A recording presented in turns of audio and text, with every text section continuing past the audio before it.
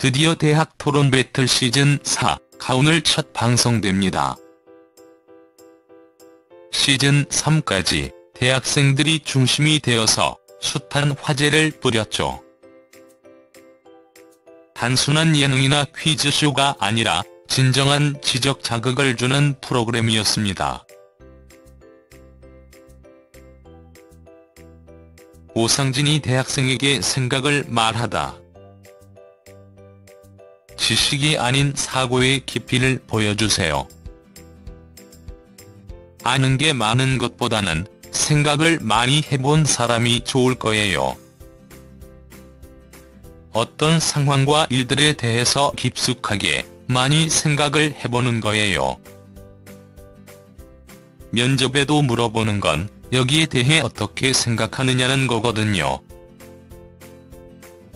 지식이 아닌 사고의 깊이를 보여주세요.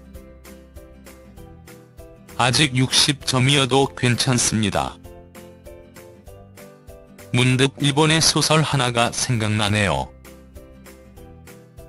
나카지마 아스시의 산월기입니다. 우리나라의 대표 단편 소설이 황순원의 소나기라면 이건 일본의 대표 단편이라고 할 만하죠. 일본 교과서에도 실리고요. 어느 정도의 재능은 있었지만 그것을 갈고 닦으려고 스승을 찾아가지도 않았고 친구들과 어울려 절차당마에 힘쓰지도 않았습니다.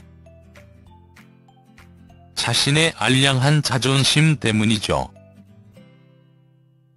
사실 황순원의 소나기가 아주 서정적이고 우리의 마음을 정서적으로 풍요롭게 해준다면 나카지마 아스시의 산월기는 어린 학생들에게 절차 당마하는 바른 생각을 심어주는 소설이죠.